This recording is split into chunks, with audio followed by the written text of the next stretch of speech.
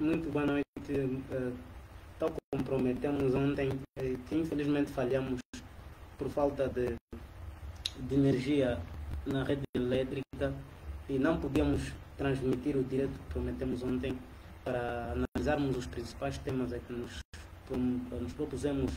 a abordar relativamente à política internacional.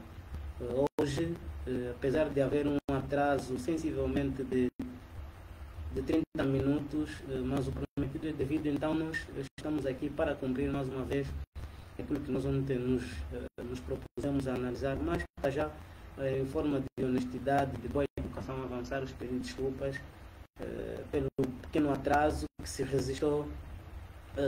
na transmissão então deste, deste direito para análise dos temas que se impõem e que nós nos eh, nos prontificamos a analisar. Ontem nós abordávamos, que, tal como hoje, queríamos analisar as, as temáticas ligadas à, à, reunião do Conselho da, eh, do, da Assembleia Geral da, da, das Nações Unidas, que será, vai ser realizada 24 de setembro. Esta, esta reunião tem como agenda a, a análise da governação mundial no período pós-Covid. Como sabe, o mundo vive um período de, eh, de, de, de um período de crise sanitária internacional de forma a, quase que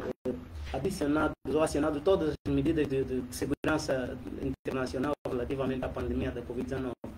De um outro lado também nós ontem falávamos que hoje seria, ontem poderíamos abordar, mas está, será abordado hoje aqui, a temática ligada às eleições na, na Bielorrússia, uh, por ser um por ser um sistema também que de certa forma está a caracterizar o ambiente internacional, ou então sistema político internacional, não é? Uh, se calhar poderíamos também avançar aqui a questão ligada ao sistema político internacional, uma certa definição, dizer que o sistema político internacional não é nada mais do que o conjunto de unidades políticas independentes, mas que interatuam com uma certa frequência ou então regularidade. Dizíamos nós também ontem que hoje uh, uh, iríamos analisar aqui as temáticas ligadas fundamentalmente a, a, ao próprio contexto atual que se vive na política internacional, de forma acrescida também na, na, na, publicação que fizemos hoje, que íamos falar sobre o, o, as atuais situações políticas que ocorrem em Angola, como o caso do, do o, aquilo que, tem, que se tornou quase que um diário político, a questão ligada ao projeto político de Abel Chivuvuco para já e também da situação política em África, que também vai merecer um olhar atento. Relativamente à primeira temática eh, ligada à, à, reunião da, da, da, da, Assembleia Geral das Nações Unidas, como sabe, a, a ONU surge como uma, como uma organização internacional que agrega todos os Estados a nível do mundo isto é, o ideal, aquilo que resultou do final da Segunda Guerra Mundial, já que na primeira, depois da Primeira Guerra Mundial fracassou a Sociedade das Nações, não é, que não atendeu o interesse de certas organizações e, e o mundo voltou a viver um outro grande conflito, que é a Segunda Guerra Mundial, mas no final da Segunda Guerra Mundial, então o mundo conheceu uma organização que tinha, ou que tem como papel, primeiramente, velar pela paz mundial, velar pela segurança internacional é por intermédio da ONU que temos órgãos extremamente importantes que muitos deles influenciam a, a, a, a, marcha mundial, a marcha da governação mundial é lá onde temos o órgão máximo, que é a Assembleia Geral, onde estão todos os estados que compõem a ONU, aqueles que, que, que, analisam as grandes decisões que o mundo que o mundo de facto vive. E também é no seio da ONU onde temos um Conselho de Segurança eh, com membros, com cinco membros permanentes, dos membros que muitos deles saíram uh, uh, uh, da, da tônica, da nova lógica que, de, de, que, o mundo passou a viver, já que tínhamos um, um mundo antagônico após a, a, a, a, Primeira Guerra Mundial, como se sabe, a Alemanha saiu derrotada, então houve alguns países que serão vencedores da guerra e outros, por influência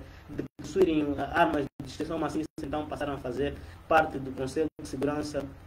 com membros permanentes dentre os cinco que existem. E esses cinco membros do Conselho de Segurança uh, permanentes são esses também, muitas das vezes, segundo as teorias uh, geopolíticas, que tomam as grandes decisões do mundo. São esses que formaram quase que a linha da frente, aqueles que, de certa forma, as suas decisões, poucas vezes, é, é revogada e tem um certo peso, terem também um veto a nível da política mundial. Então, as Nações Unidas, na qualidade da, da Organização Mundial, lá onde se decide, se tomam decisões, referir mesmo também que, uh, o atual contexto que o mundo vive remete mesmo a uma grande responsabilidade e queremos nós que uh, a perspectiva de se pensar a, a governação mundial no período pós-Covid é extremamente importante, dado que a Covid-19, por ser um elemento que quase uh, pôs em causa a própria questão ligada ao poderio dos Estados, porque se refere aqui a questão do poder hoje para a questão do Covid-19, a Covid é vista como um elemento que mediu a, a, pulsação em termos de poder dos Estados. Então, os grandes Estados que, que, que decidem o futuro mundial e aqueles que fazem parte dos órgãos mais importantes das Nações Unidas também uh, têm alguma coisa a dizer. E a ONU, na qualidade de organização mundial que vela pela paz mundial, também nós podemos referir que a paz mundial está, está quase que foi posta em causa, na medida em que há uma pandemia, é uma guerra declarada contra uma pandemia, então a paz mundial está posta em causa. Embora não ser uma paz armada, mas é uma, é uma não, não ser uma guerra armada, mas quase que é uma, é uma, é uma guerra endêmica na perspectiva que há uma doença, é um inimigo comum que não precisa de armas, uh, de balas e homens para dispararem atrás da, da, pandemia, mas há aqui uma presença de uma doença que carece de facto a intervenção humanitária, a intervenção mundial e as Nações Unidas não podem estar desvinculadas desta, desta realidade. Tanto é que das diversas organizações que existem, todas são órgãos das Nações Unidas. Nós temos a Organização Mundial da Saúde, que está atrelada às Nações Unidas, vários outros órgãos, o Fundo Humanitário Internacional, a Organização Mundial do Comércio, todos estes elementos que fazem parte das Nações Unidas e que, de certa forma, a própria pandemia da Covid-19 colocou em causa, porque pôs em causa não só a questão sanitária internacional, mas também a questão econômica, a questão financeira, um conjunto de elementos agravou a, a pobreza a nível mundial. Então, há toda uma necessidade de as Nações Unidas repensarem a questão ligada à, à, à, governação mundial. E, de um outro lado, também, dentro desta toda a situação, que é necessário ainda no âmbito do, da, da Assembleia Geral das Nações Unidas ser realizada 24 de setembro deste ano, é um, elemento, um outro elemento extremamente importante é, a questão ligada ao atual contexto internacional, que é marcado também por diversas conflitualidades, porque a política é marcada por um elemento extremamente importante, que é a questão ligada à política externa. A política externa encarada por diversos Estados como uh, uma política nacional para um Estado, tendo como perspectiva a, a manutenção dos interesses nacionais e a modificação dos interesses uh, desfavoráveis, aquele que um Estado considerar desfavoráveis a nível do ambiente externo, poderá lutar para poder modificá-los. Então, nessa perspectiva que temos nós que pensar a, a, a, a governação mundial no período pós-Covid-19 também requer ver, uh, rever-se algumas ações ligadas àquilo que tem que ver com a continuação, uh, democratização do mundo. E, e, nesse entretanto, queremos nós também que a questão da, da, das eleições da Bielorrússia não ficam de fora, na medida em que impactam o, o, a própria política internacional. Houve quase que na Bielorrússia eh, uma tendência de, de haver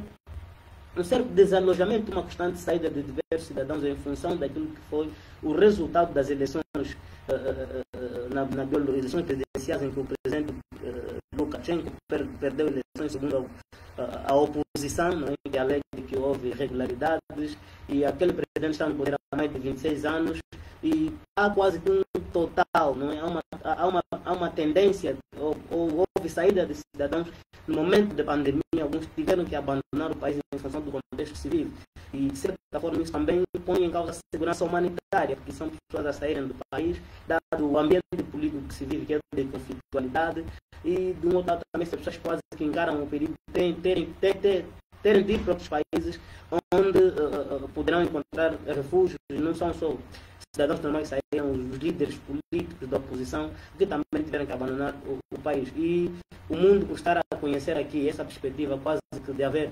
uh, dois principais contendores, apesar de haverem poderes setoriais, né, né, segundo as, as, as teorias geopolíticas contemporâneas, há alguns poderes setoriais que estão na periferia. Mas o centro de decisão mundial é marcado pelos Estados Unidos da América, agora pela União Europeia, com uma, com uma certa uh, significação, pela própria Rússia, e de um outro lado também está um outro, uma outra realidade ali, a, China, que também é uma potência internacional que assumiu, de certa forma, uh, os lugares cimeiros a nível da, da, da, política mundial.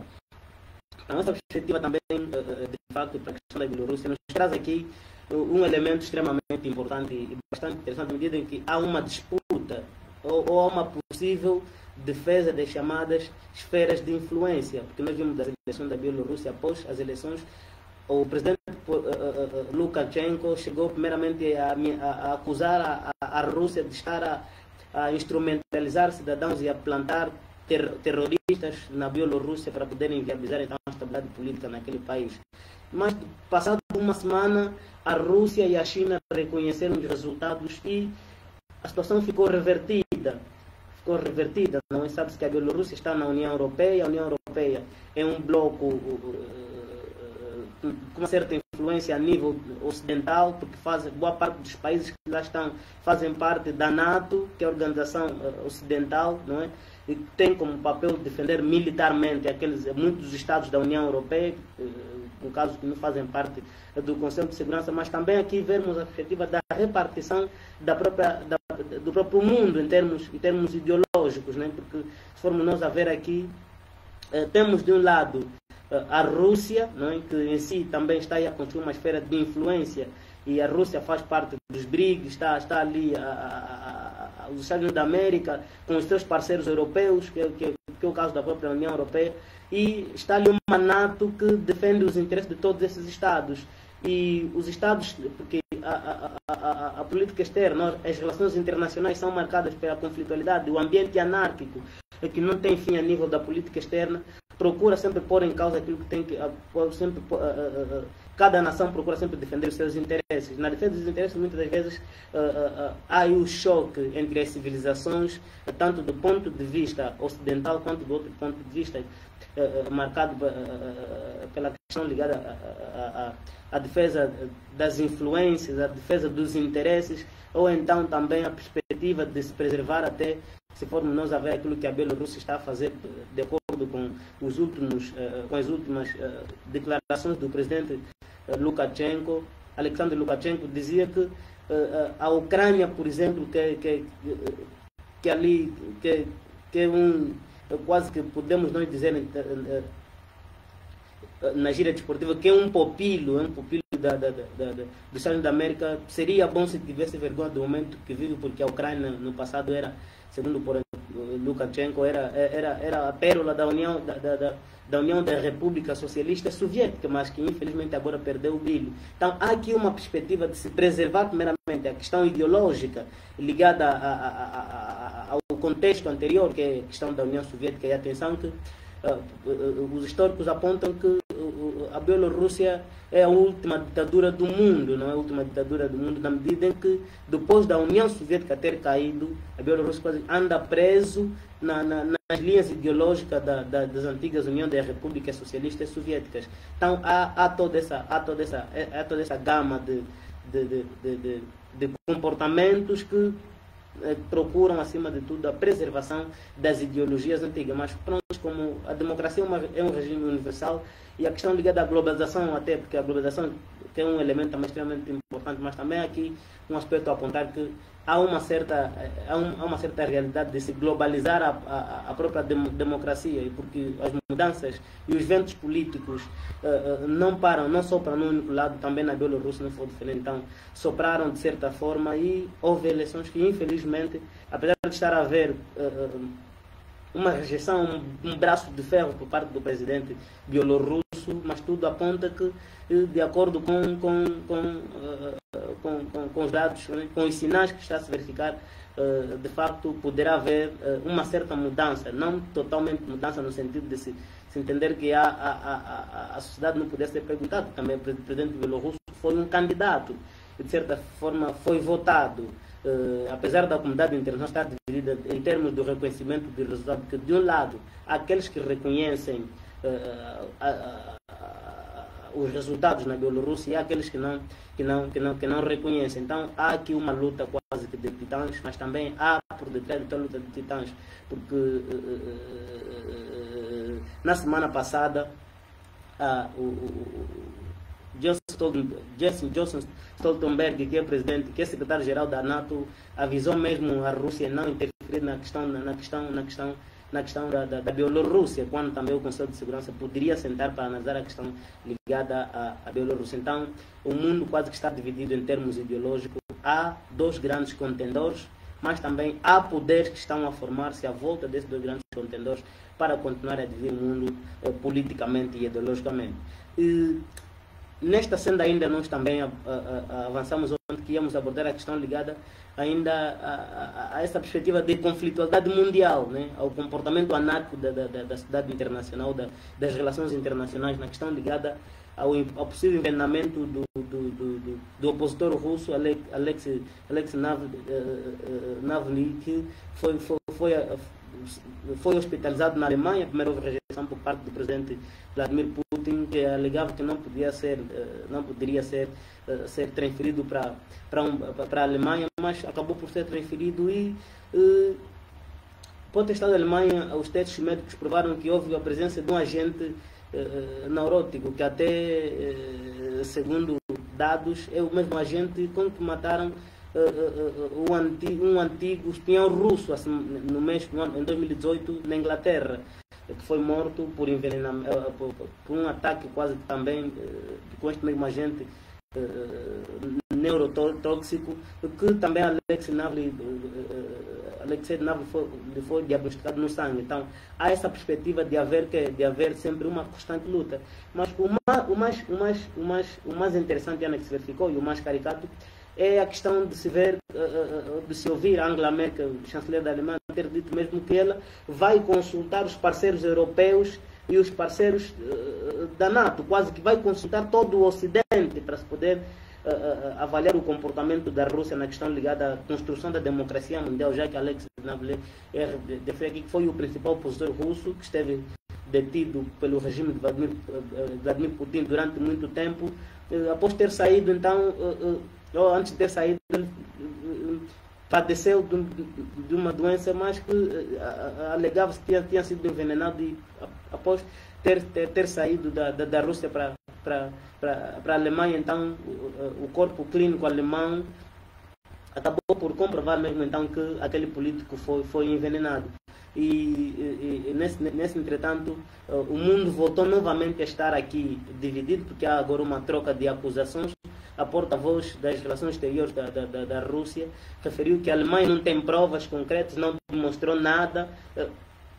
pelo que a Rússia não tem de, de, nenhuma acusação, não há provas, há pura e simplesmente falácia, há um aproveitamento político internacional da questão da, da, da, daquele político. Então há aqui também uma, uma tendência de, de, de, de se, de, de, se dividir constantemente o mundo e porque estamos na questão, num contexto da pandemia, as relações internacionais também estão marcadas por uma certa restrição, mas aqueles que são os principais contendores a nível internacional uh, estão a tentar protagonizar atos que procuram chamar a, a, a, atenção a todo mundo para continuar a liderar, então, procurarem sempre manter o, lugar cimeiro a nível da decisão, da, das principais decisões a nível, a nível internacional. E, de um outro lado, também, uh, uh, referir que a Rússia, para já, de acordo com visto com, com, o que está a ocorrer, dificilmente vai conhecer uma rápida democratização, porque também os processos democráticos são constantemente a ser interrompidos em função da, da sequência de atos que ocorrem e quando se põe até em causa vidas humanas, né? vidas humanas, uh, não é a primeira vez que se verifica isso, é, para o opositor russo que várias vezes enfrentou um braço de ferro do regime do, do Putin, não é? O presidente Putin que sempre quase colocou a, a, pôs sempre em causa a questão ligada à concorrência política, à democratização da própria sociedade russa, que se prende sempre ali na, na, nos antigos hábitos da, da, da, da pese, embora não será a Rússia da antiga União das Repúblicas Soviéticas, mas é uma Rússia que, que até de certo ponto está ali uh, com a intenção de, primeiramente, perpetuar um, um, líder no poder. E esse líder no poder não vê de bom agrado quando há surgimento de outros atores que procuram uh, pôr em causa a questão ligada à, à sua substituição, a questão ligada à democratização, então poder se permitir um diálogo aberto, a pluralidade de, de, de, de diferença em termos de pensamento uh, a, nível, a nível interno. E não queremos nós também aqui deixar de fora a, a, política africana, a política africana que é um elemento extremamente interessante para o lado do mundo também. Uh, a África, como referiam vários, vários atores aqui, recorrer a Maíl Chembe, que dizia que Uh, diferentemente do que ocorre no outro lado do mundo, a África é o único lugar onde tudo parece estar por se construir. A África está numa, numa constante construção a nível das infraestruturas uh, sociais, a nível das infraestruturas econômicas, a nível da construção da mentalidade em termos de lideranças, mas também outro elemento aqui extremamente importante é, são as obras uh, quase que políticas. A África é um, é um canteiro de obras políticas na medida que tudo, a cada dia que passa está sempre por se construir. E dos últimos acontecimentos em África, eh, tudo denota também que a África vive um momento também desacelerado em termos de democratização, na medida em que uh, os grandes comportamentos, né, uh, os comportamentos dos líderes africanos, de certa forma, continuam a retardar. Há aqui alguns exemplos a se ter em conta em África das últimas transições políticas que ocorreram eh, de certa forma pacíficas. Há a questão, por exemplo, da Angola, houve a questão, de, independentemente das circunstâncias, a questão do, da República Democrática do Congo, eh, aqui muito próximo também, que conheceu uma transição política de certa forma, pese embora marcada antes por, por sequentes atos eh, e que são normais para, para a questão da gestão política, não é? de, de, de, de alguma, de, algumas revoltas populares, mas houve processos políticos transitórios, democráticos, eh, não, uh, uh, tal como a democracia elenca, que foram eleições e vencidos os regimes estão, estão, estão de, o, o, o, regime menos democrático foi preservado e há instituições legitimamente reconhecidas pelos processos políticos, que são as eleições. E, de um outro lado, estão os últimos atos, não é? Em África, se contarmos aqui, para falarmos do golpe de Estado do Mali, eh, de 2016 para cá, 2016, eh, houve aqui algumas tentativas de, de, de, de, golpe de Estado em África, em 2016. Sabemos nós que houve no, no, Burkina Faso, em que um coronel também golpeou o presidente, houve quase uma tentativa, uma possível, mas que tem própria caracterização no caso da, da, da, da recente do Sudão do presidente Omar al-Bashir, que também eh, foi, foi de facto deposto por forças militares. Houve a, a questão do, do, do, Zimbábue com o presidente Robert Mugabe. Uh, houve ainda quase que uma intervenção militar recentemente de, uh, da Gâmbia, não é? na Gâmbia, o presidente uh, Yahya Jammeh, que não quis deixar o poder, o presidente Adama Barrow, que chegou a tomar posse na Embaixada do Senegal, ou as organizações regionais africanas, no caso da CDAO, que teve que intervir para que o presidente uh, Yahya deixasse o país e o presidente Adama Barrow, depois que venceu as eleições, tomasse posse. Houve também uma, quase com uma certa conflitualidade no âmbito dos processos políticos em África e se pudermos aqui citarmos uma perspectiva também, que uh, traz uma perspectiva, um pensamento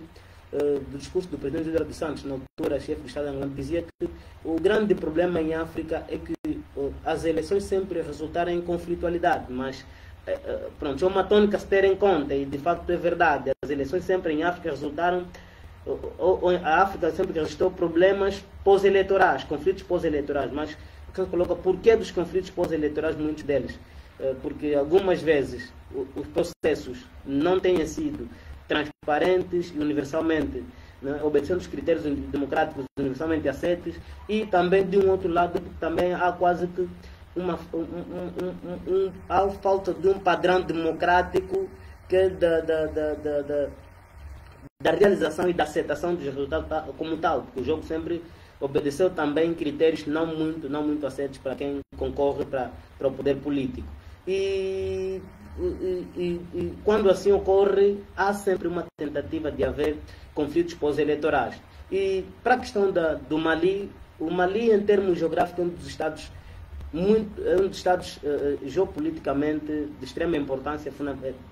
dado a grande questão ligada aos interesses internacionais que o Mali tem. Sabe-se que no Mali há bases franceses, né? há bases francesas do, do, do, no Mali o Mali é daqueles estados que sempre esteve uh, numa que viveu sempre uma turbulência política em função da presença de grupos fundamentalistas aí, Al-Shabaab, entre outros, que muitas vezes estão sempre presentes. Apesar que a África tem sempre essa realidade, né? há essa realidade de haver agora um fundamentalismo religioso e não só uh,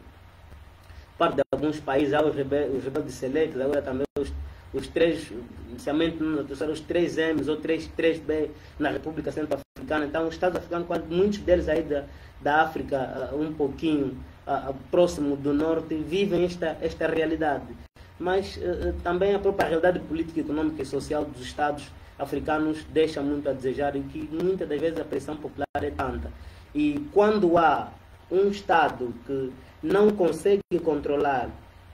os riscos externos, os, os perigos internos, então os riscos externos encontram, encontram lugar. É nesse, é nesse, entretanto, que o Mali, que já vive problemas sérios e com um presidente que está no poder também a uma certa, uma certa idade já, já, já avançada, uh, uh, uh, então os militares também, que depois de uma certa altura aturam a mesma figura durante muito tempo, mas que depois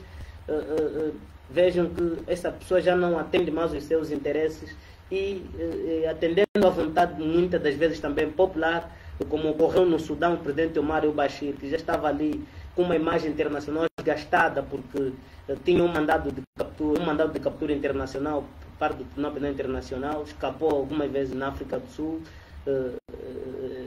em 2015, creio eu que foi em 2015 que escapou, 2016, se não de atressoar. E também porque o povo não se revê mais nele, a condição, a miserabilidade da população acaba por, por, por desgastar mais o chefe do Estado e eles revoltam-se contra, contra o chefe do Estado. E quando há um apoio militar também, é? há um apoio militar que se vê ali, é, que também estão a gostar do chefe do Estado e precisam ter uma nova roupagem, acabam por colocar em causa a estabilidade política nacional. Mas o essencial mesmo é referir que os militares, eh, quando tomam poder, porque em, ciência política diz que há várias formas de conquista do poder, mas uma, há as formas legais e as formas ilegais. As, mesmas, as, as ilegais são o golpe de Estado, né, que, é um, que é uma delas, tal que, está, que ocorreu no Mali, porque é um golpe mesmo, um poder golpeado. Quando assim ocorre, é devolver o poder aos civis ou, para que a realidade seja reposta na normalidade, porque é preciso garantir que as instituições existentes continuem a funcionar e, e, e, de certa forma também, pese embora ser uma defesa do poder, mas não é mais viável, porque sempre põe em causa a estabilidade política. E no contexto da Covid-19, ainda quando diante de uma doença, não é mais salutar, porque o Estado fica vulnerável para certas situações. Eh, eh, então, o mais viável mesmo é garantir a reposição da legalidade, deve ser reposta a legalidade, devolver o poder aos cidadãos, já que as Forças Armadas não são forças dada a sua natureza e o caráter, não é? E o caráter de, de, hierárquico não foram feitas para, para desempenhar a governação política. Eles estão para garantirem a força, defender a integridade territorial uh, uh, de todas as, de, do Estado em toda a sua extensão, tanto na fronteira marítima, aérea, etc, etc. Então não são uma força, não são forças apropriadas para poder exercer a, a governação. E de um outro lado também nós, para a temática de hoje, que nós nos propusemos a abordar, uh, nós dizíamos, uh, nós também uh, aceitamos a sugestão do nosso amigo que colocou ontem, porque também não analisar a questão ligada a, a, ao chumbo do Prajá. A democratização é um processo contínuo, diz o termo democratização é um processo contínuo. E a democracia diz é, é, é, é um regime exclusivamente popular. Mas a democracia aqui é, é vista em duas perspectivas, a democracia representativa e a participativa na questão da democracia participativa, há aquela tendência de cidadãos também com direitos constitucionalmente consagrados entenderem participarem da vida política de forma ativa, de forma ativa na intenção, de, para além de serem cidadãos passivos, que é de, de, de exercer o direito de voto, o direito de, de, de, contribuírem com os impostos, o direito, um conjunto de direitos que, ou deveres que a Constituição lhe reserva, okay, direitos, mas também têm o direito, por exemplo, de constituírem forças políticas, de participarem na vida política ativa. É nessa, nessa intenção que muitos cidadãos e, e, do, do, do, político Abel Chivuvuco, que, que, sendo cidadão angolano, entendeu então formar uma organização política que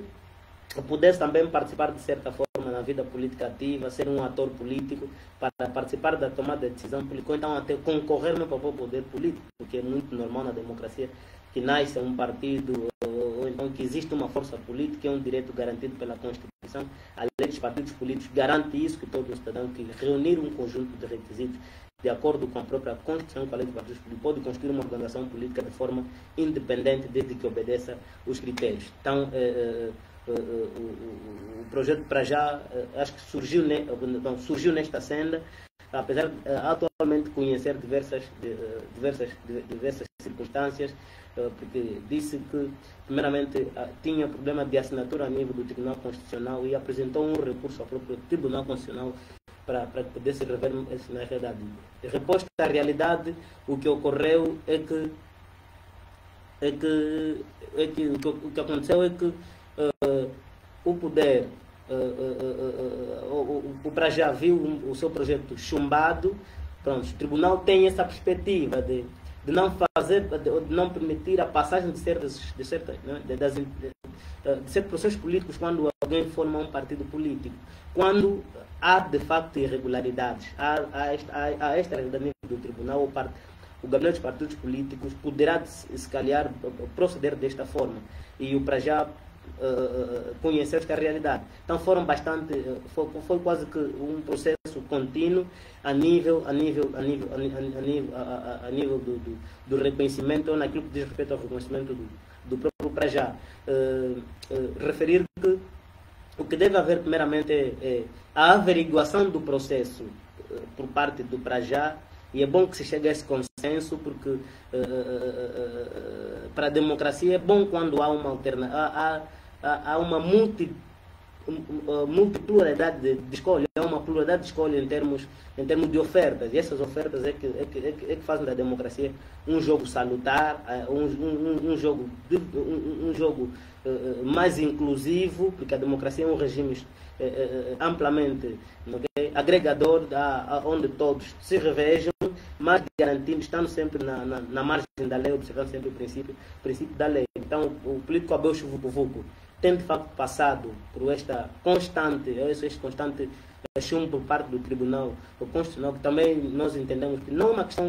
de todo de uma má vontade por parte do Tribunal, eh, porque há algumas alegações por parte do Tribunal. Então, a, a, a, queremos nós que o que deve haver é, é, é, é uma organização por parte da, da, da, das duas. De, de todo este processo, se o Prajá precisa de concluir um conjunto de requisitos que deve que deve, que deve fazê-lo e o tribunal ali onde achar que deve haver também um, um, uma, um, uma certa realidade para, para o reconhecimento, acima de tudo, do, do próprio Prajá também, seria bom se fosse também efetivado, porque a democracia não deve permitir que, que, que, que, que, que haja falência de alguns politicamente. Quando se mata alguns politicamente, o que morre não são as pessoas, mas morrem as instituições, morre a qualidade da participação, morre a qualidade da democracia, porque também a qualidade da democracia classifica-se em função, em função daquilo que tem a ver com os seus processos normais. Quando há barreiras à democracia, falece, falece na medida em que uh, está a, a, colocar uh, barreiras uh, para alguns e, e, quando alguns não avançam então a democracia perde o seu foco perde perde, perde aquilo que tem a ver com, com a sua essência que é a, a, possibilidade de alguns poderem eh, avançar, poderem participar e vermos alguns autores aqui. Porque eh, para nós entendemos que o Abel Chuvucuvuco é um dos, é dos políticos, de, né, é uma das figuras históricas de, de, de, deste país. Chegou de denúncia da política nacional e, de certa forma, uh, está na vida uh, de Angola há bastante tempo, é uma, uma, uma figura histórica, uh, politicamente é um indivíduo com, com eh, uma imagem política experimentada e é, é, mesmo um ganho nacional também, porque isso é, é, a grande questão que se coloca. Muitas das vezes também eh, Angola precisa rever, ou as instituições precisam rever a questão que tem que ver com, com as grandes agências internacionais, já que há aqui relatórios internacionais que procuram sempre classificar a governação dos países, procuram sempre rever o comportamento das instituições a nível nacional. Então, para não haver um recuo em termos da, da, da, democratização do país, é necessário que haja boa vontade por parte das instituições cederem de certa forma para que a sociedade saia sempre a vencer, saia sempre a ganhar e a democracia seja de facto uma realidade, porque é um regime exclusivamente popular, é um regime eh, pluralista, não exclusivista, porque a perspectiva da exclusão Uh, traz consigo uma outra denominação e não exatamente, uh, uh, não exatamente a, a democracia, porque o, o regime democrático é um regime amplamente agregador. E de forma acrescida nós aqui podemos também avançar aqui os últimos relatórios internacionais que uh, apontam que desde, desde o início da pandemia da Covid-19, a Covid internacionalmente já matou mais, cerca de 7 mil médicos. e o mundo, de facto, regrediu. Queremos nós também que, na questão ligada à Assembleia Geral da ONU, que foi o nosso primeiro tema que nós abordamos aqui, um elemento que vai ser tido em conta, porque a pandemia colocou mesmo em causa a, a, saúde internacional, pôs em causa o poder mundial, pôs em causa a segurança humanitária a nível internacional. Então, a Covid já matou cerca de 7 mil médicos, uh, médicos no sentido de dizer de formação especialistas, de facto, uh, de medicina. Então, uh, temos que a segurança mundial foi posta em causa também, precisa de uma certa atenção. Os Estados, não é, a nível do mundo, poderiam rever esta determinada realidade. Poder, devia bom, seria bom se, se, se acionasse medidas de segurança internacional para se poder dar uma resposta rápida, porque a pandemia parece que está mais acelerada em termos de evolução do que uh, as reações a nível dos Estados. Estados quase que o mundo uh, está, de certa forma, economicamente esgotado com todas as tentativas, as medidas de segurança, uh, de prevenção, as indústrias do mundo quase que está tudo, tudo, tudo está a fazer, só está a pensar a nível, nível do Covid-19. E seria bom se pensássemos aceleradamente para uma possível solução rápida a Covid-19 e, e, garantirmos então o retorno à normalidade, ou se ainda assim não for então, mas pelo menos a segurança humana estar, estar, uh, estar garantida e para o Estado não faleça, porque o que estima de facto, o que garante a existência dos Estados, o primeiro elemento fundamental são os ativos humanos, a massa crítica é extremamente importante e o mundo já perdeu quase metade da, da, da sua população de acordo com, com, está, com, com, com os dados, com os últimos dados da, da, da Organização Mundial da Saúde. Esses são os temas que nós trazíamos para abordar. Ficaram muitos pontos por serem avançados, mas aqui a conversa é, que nós trazemos é um elemento aberto para podermos abordar aqui de forma mais simplificada uma certa uh, os temas que marcaram o mundo uh, nos últimos sete dias e voltamos contamos uh, voltar em outra ocasião quando houver uma necessidade de condições criadas para um certo, um certo briefing entre nós e os nossos amigos nesse constante exercício do pensamento político e um olhar, se calhar, atento também daquilo que ocorre a nível do mundo. Nosso muito obrigado e continuação de uma boa noite.